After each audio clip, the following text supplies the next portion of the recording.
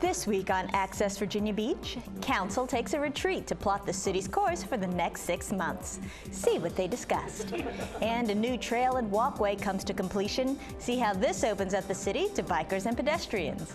Plus, see how one group helps take education beyond the walls of the classroom. We'll have that and more on this edition of Access Virginia Beach.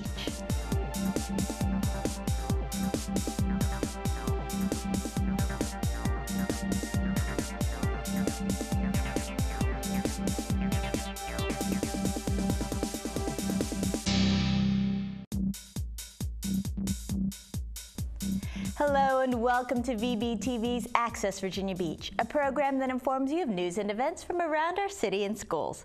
I'm Mikki Acedo. Thanks for joining us. Several times a year, City Council gets away from the formality of their meeting room for a leisurely discussion of some of the items facing them. Leisurely, that is, until you start adding up discussions about an animal shelter, LED lights, strategic growth areas, employee pensions, and Oh, yes, a tight economy. City Council members spent an early spring day in a biannual retreat. Here, the group reviews its goals from the past year and plots a course for the next six months. So it's everything from the um, the small details to, that, uh, the small details regarding the services we provide to our citizens, as well as the big 30,000 foot view services that we provide also on a daily and annual basis. We've been talking about a lot about economic development, uh, in that you know we're looking for revenues for the city. You know, during these tough economic times, um, you know, finding revenues is tough. But I think the council really feels strongly that we must do everything we can to bring new businesses to our city and expand our tax base. First and foremost was the issue of upcoming budget discussions and how to fill a shortfall that could reach $111 million for city and schools. We're going into a very, very you know tough and challenging budget process, so it's, the, it's always a good idea to have as much information on the table as we can. Finding alternatives to increasing your taxes, increasing your fees, we've, we've worked on uh, finding solutions to that. So hopefully this year folks won't see an increase on their taxes or fees. Council now begins a month-long deliberation on the proposed spending plan. In 2008, teens accounted for 17% of all drivers involved in drunk driving crashes. In 2007, underage drinkers were responsible for 14% of drunk driving deaths. Preventing tragedies like these is one reason that the Virginia Beach Youth and Community Action Team is hosting a town hall meeting. On Thursday, April 15th, parents, teachers, and community members are invited to attend a town hall meeting on underage drinking. A variety of speakers will be on hand to talk about energy drinks, alcohol abuse, and the legal issues associated with underage drinking. The event will be held at Cox High School and is free and open to the public. Call 385-0820 for more information. When people mention the boardwalk, Virginia Beach residents most likely think of the one that graces our seaside community. But there is another one about a block west of that that is causing some excitement. Is this another great day in Virginia Beach? Mayor Sessoms led the cheers as the South Beach Trail Boardwalk was opened recently. The 1,400-foot boardwalk strolls along Lake Holly from 5th Street to Norfolk Avenue.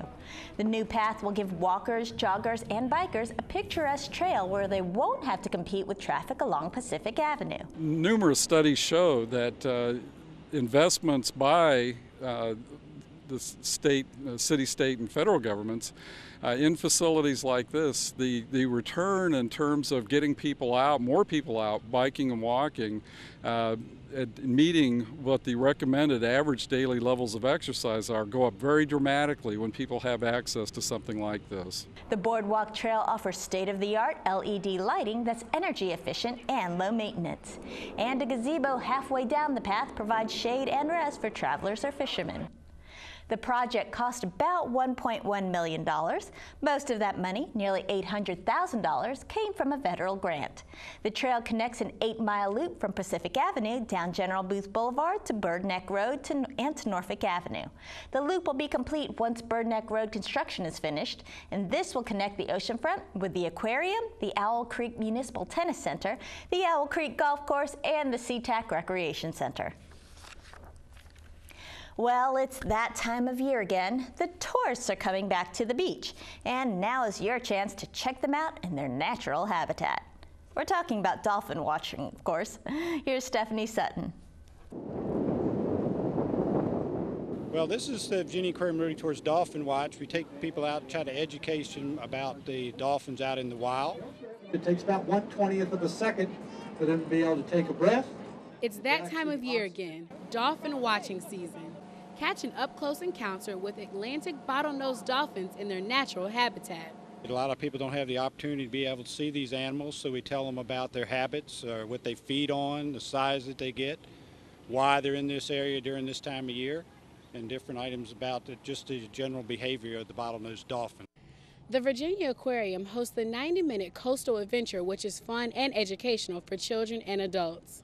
I hope that they learn a little bit more about the marine environment um, and some of the um, fun things about the dolphins and some of the maybe the sadder things about the dolphins so that they can help make the um, marine life a little happier.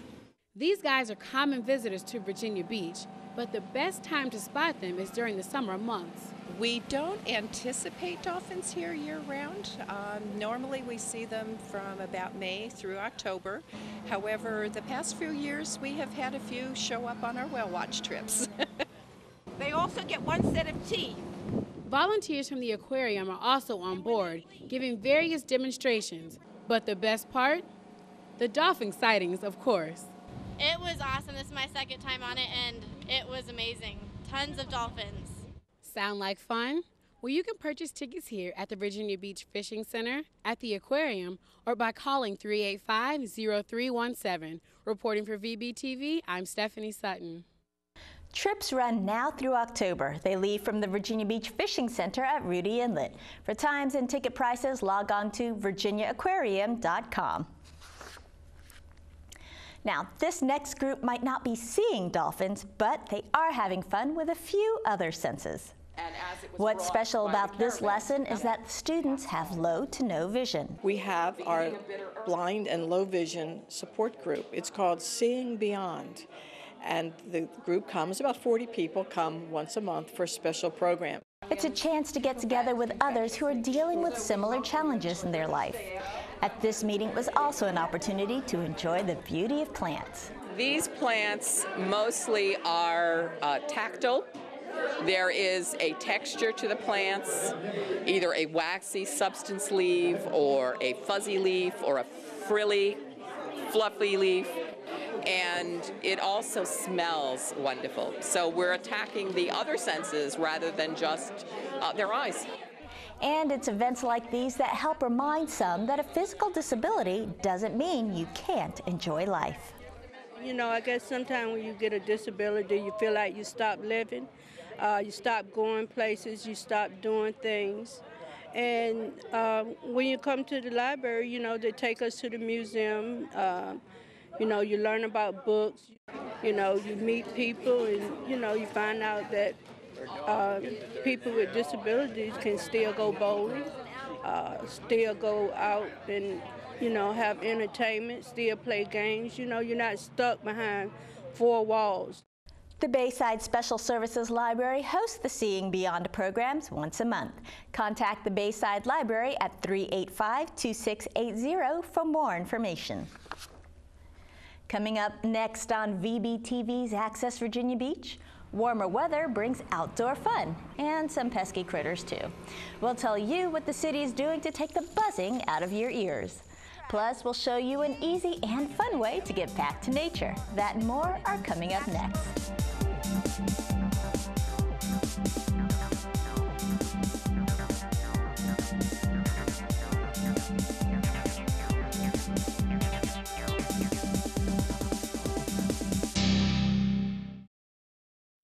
Step behind the doors and gates of Virginia's most beautiful homes and gardens during Historic Garden Week in Virginia. Discover creative ideas in interior and garden design in more than 30 tours statewide. Sponsored by the Garden Club of Virginia. Historic Garden Week, April 17th through 25th. Visit vagardenweek.org for more information. It takes desire, ability, and opportunity for a criminal to take advantage of you. Eliminating the opportunity is your first step toward protecting yourself. Every day, millions of people just like you leave their homes. Burglars count on this so they can make a living out of your hard earned property. You can avoid becoming a victim by taking a few simple precautions. Before you exit your residence, do a quick security assessment of your home. Check that all windows are closed and latched, especially the ones in the back. Also, make sure to lock all your rear and side doors. Don't forget the entry door from the garage. If you have a burglar alarm, arm it before you leave. Lastly, don't waste your efforts by leaving an extra key outside where someone can find it.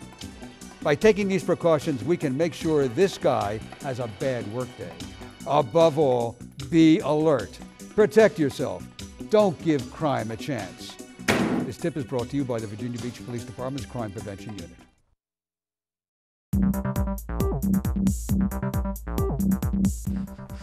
Hi, and welcome back to VBTV's Access Virginia Beach. I'm Mikki Acedo. Well, through all its growth, paving, and building, the city of Virginia Beach has still managed to maintain the greenery about the city. So much so that for the 30th year in a row, Virginia Beach has been named a Tree City USA community. Tree cities are recognized for their community forestry programs, tree care ordinances, and their observance of Arbor Day. Virginia Beach holds the second longest tenure as a tree city in Virginia. The city manager just proposed a budget of nearly $1.6 billion to City Council. It's been stretched thin in what's been called some of the tightest economic times in years. But thanks to a staff of about 18,000 volunteers, the city is able to save about $18 million annually. Here's just one of those volunteers telling why she offers her time to the city. Hello, I'm Billi Parus. I'm a volunteer with the Master Gardener Program of Virginia Beach. This is a row of purple turnips and I'm thinning them because they're, uh, when you put the seed in, they end up a little too crowded, so you want to thin them out. I'm helping maintain our demonstration vegetable garden. This is a Master Gardener project here at Farmers Market and we are growing vegetables of all kinds, shapes and varieties to show the public how easy it is to grow. The Master Gardeners are volunteers in agricultural um, programs. We have about 24 programs here in the city and we volunteer over 22,000 hours in these projects and we have contact with over 31,000 Virginia Beach residents and visitors. I enjoy showing people how easy it is to grow things and the fact that the vegetables, when we grow them ourselves, we know where they come from, we know how healthy they are. I feel like I'm giving back to the community and I'm giving back in a way that um, I know they're getting accurate information and we're gonna hope we can drive this. And we have projects ranging from um, Arboretum um, to some of the historic houses. We have gardens at some of the historic houses and um, vegetable, the vegetable garden here, herb garden, annuals, perennials. The compost bins are, are quite a fascination. And um, we just try to, to hit every need of the community. All volunteer, and we have a great time. If the volunteer community is not there, we might lose very important programs that help all of our, our citizens. Virginia Beach volunteers save the, save the city an equivalent of more than 500 full-time employees. Call the volunteer office at 385-4777 to find out how you can make a difference in Virginia Beach. Well, the summer brings warm weather, fun in the sun, and mosquitoes. But the City Department of Public Works is out and about to help make sure your time outside isn't being spent as mosquito bait. Access reporter Veronica Coleman has the story. Every week, city employees start their day by setting traps, taking blood, she's number 52, and checking samples to help protect the citizens of Virginia Beach. We've been testing chickens, sentinel chickens, and mosquitoes for about 10 years now for the presence of eastern equine encephalitis and West Nile virus. These viruses can damage the central nervous system in animals and, in rare cases, humans, which is why one group of employees from the Department of Public Works focuses on mosquito studies. They use an early warning system, chickens, to check for the disease. Chickens are very good sentinel animals. They're out there 24 hours a day, seven days a week, and they do get exposed to many, many mosquito bites. And so we very often, sometime during the season, find at least one chicken positive for eastern equine encephalitis. They also capture and test mosquitoes. And while they're rarely spread to humans, it's worth taking precautions against mosquito-borne diseases like West Nile virus and eastern equine encephalitis. We want to make sure that um, people are not out getting excessive mosquito bites. Um, it, it is rare in the fact that since 1975, we have only had five deaths in the entire state of Virginia. Horses, it's much more prevalent. Um, that's where people need to be aware of what's going on in the community since we have a very large horse population in Virginia Beach. And for the city, protecting the human and animal population is a year-round effort. During the wintertime, what our guys do is we have a inventory of ditches, about 1,500 ditches throughout the city that we must clean and re regrade. And it takes four to five years to get to all the ditches. But the fact of the matter is, the more standing water you can make move or eliminate, the more mosquitoes you have uh, denied access to for breeding. That's the most permanent way to do mosquito control. Not, no chemicals involved at all. As temperatures move up, the Mosquito Control Bureau uses a different approach. We have guys that go out in the various areas which they do the larviciding, and that take place as they spray chemicals in the standing water. They're in ditches in the fields that, that may be holding water. The goal is to prevent mosquitoes from even making it to the adult stage, but there's no way to eliminate every larvae. But there is a last resort. The last ditch effort to control mosquitoes is adulticiding, where our trucks go out at night, uh, truck, we send trucks out to neighborhoods where we know mosquitoes are, adult mosquitoes are being a problem, and uh, disperse a pesticide to kill the mos adult mosquitoes. The Mosquito Control Bureau says you can help reduce infestations by eliminating standing water in your yard. Even a glass of water can serve as a breeding ground. But if things get too bad, you can call the Mosquito Control Hotline to request a spraying. For VBTV, I'm Veronica Coleman. For more information on mosquito spray routes, call the Mosquito Control Hotline at 385-1590. Or you can log on to vbgov.com to request the service for your area. One of the best ways to learn something is by experiencing it firsthand. So when the students in this next story were trying to grasp the concepts of conservation and the ecosystem, the obvious solution was to see Mother Nature in action. This isn't your average field trip. Oh, now these are neat. Look at these tracks. Any idea it's not a snake? These third graders from Seatack Elementary are spending the day at False Cape Park. And acorns are a survival food. Who eats acorns? Um, squirrels. State budget cuts threaten to close the park, a prospect that wasn't acceptable to these nature lovers. We're here because we thought that the governor was going to close False Cape. The children were up in arms and upset, and we had some good news. They're not closing False Cape, so they wanted to see actually what False Cape's all about, what it looks like, and all about the environment. After hearing the good news, the students wanted to experience the outdoors firsthand and do a little research for themselves. And we have, who do we have? Hoofs or paws? Hoofs. The young environmentalists took notes, pictures, and video of the park. The children are actually getting hands-on research. They're using flip cameras, they're taking field notes, and they're really identifying different species that they're really haven't had exposure to. So they're getting a hands-on up front look at nature. So what did they find? We found deer tracks, hog tracks, and bird tracks so far. And we're wondering and we're still wondering what else we can find.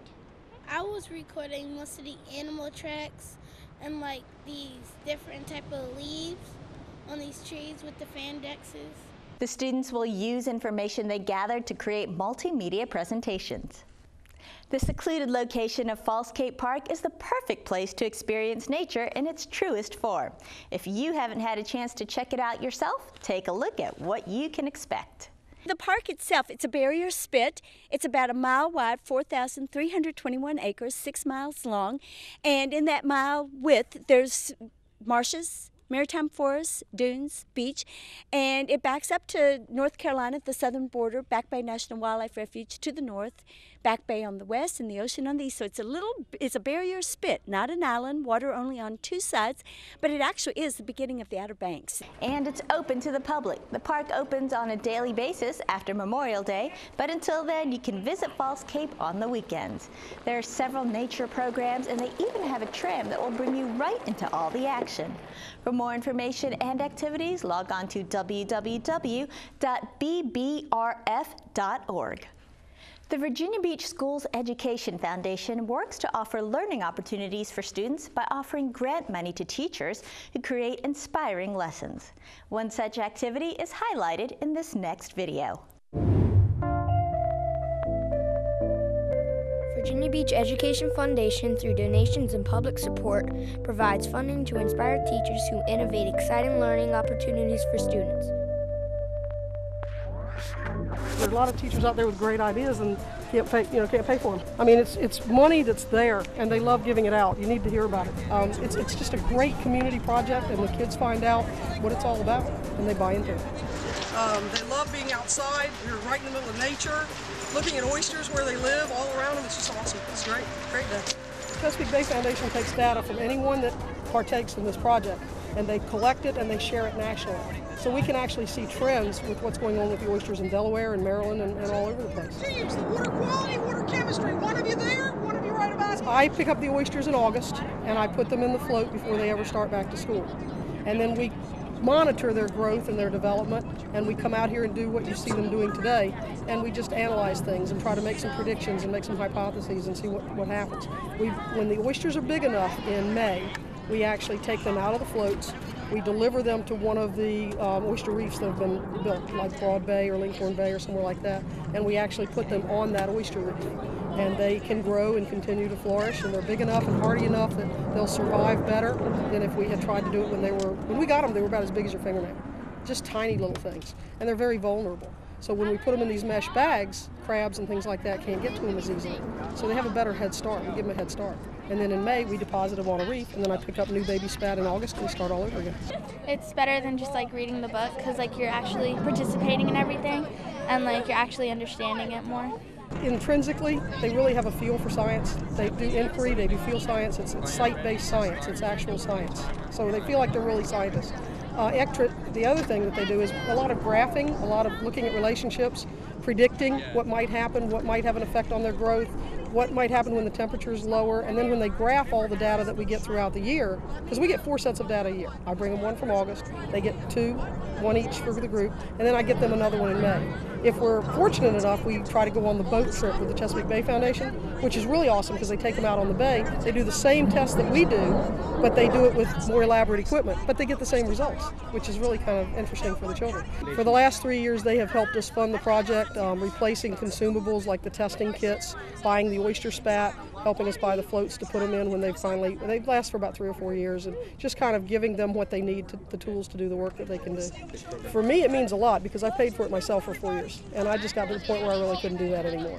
So it was either going to be scaled way down or it was going to be find a grant. Unfortunately, I've been able to do that for the last three years, and that's been awesome. We have a predator Well, walking around. actually, It's a shrimp. if I want you to see it. Okay? This is our ecosystem. This is our environment. We need to keep it clean and keep it really good. So when I get parent volunteers that come out, they usually call me back and say, I didn't have any idea about all this stuff.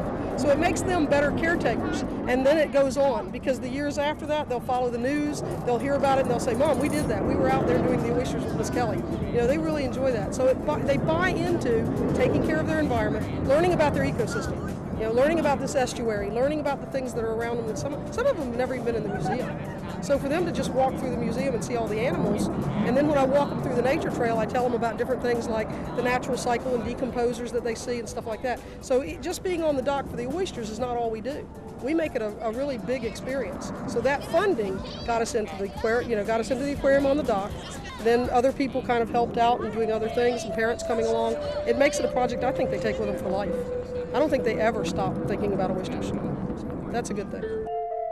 Inspired teachers create lifelong learners. Support a lifelong learner in your community. Visit vbef.org for more information. You can find out more about opportunities like these and the Education Foundation by logging on to vbef.org.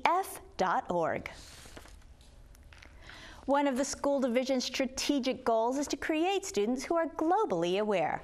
That involves not only an understanding and respect for other cultures, but considerations of those with their own personal challenges as well.